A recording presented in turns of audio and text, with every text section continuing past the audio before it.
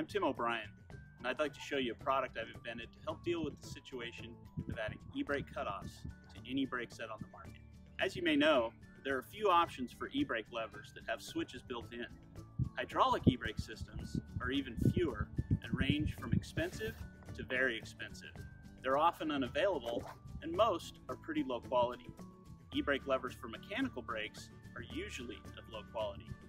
Since you already have a good brake set on your bike, why swap them out for lower quality units? I know I struggled with this problem for years doing various e-bike builds. My solution, after lots of R&D, is the tripwire.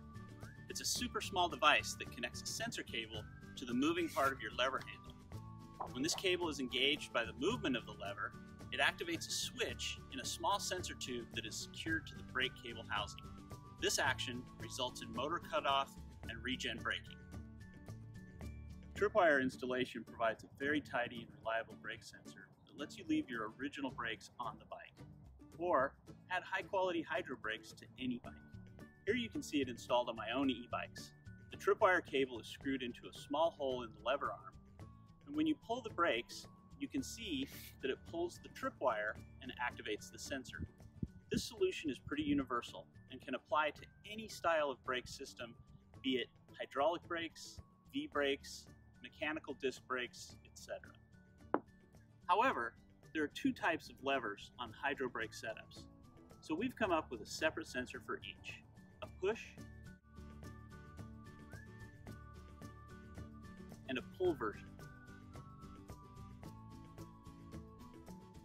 We've partnered with Grin Technologies to iron out the design of this product and bring it to full distribution. It's ready and available from the eBike CA website and soon from their dealers as well. All the Tripwire devices are manufactured by myself and my family here in sunny California. And we're excited to make this solution available to e-bike users around the world facing the same dilemma I had.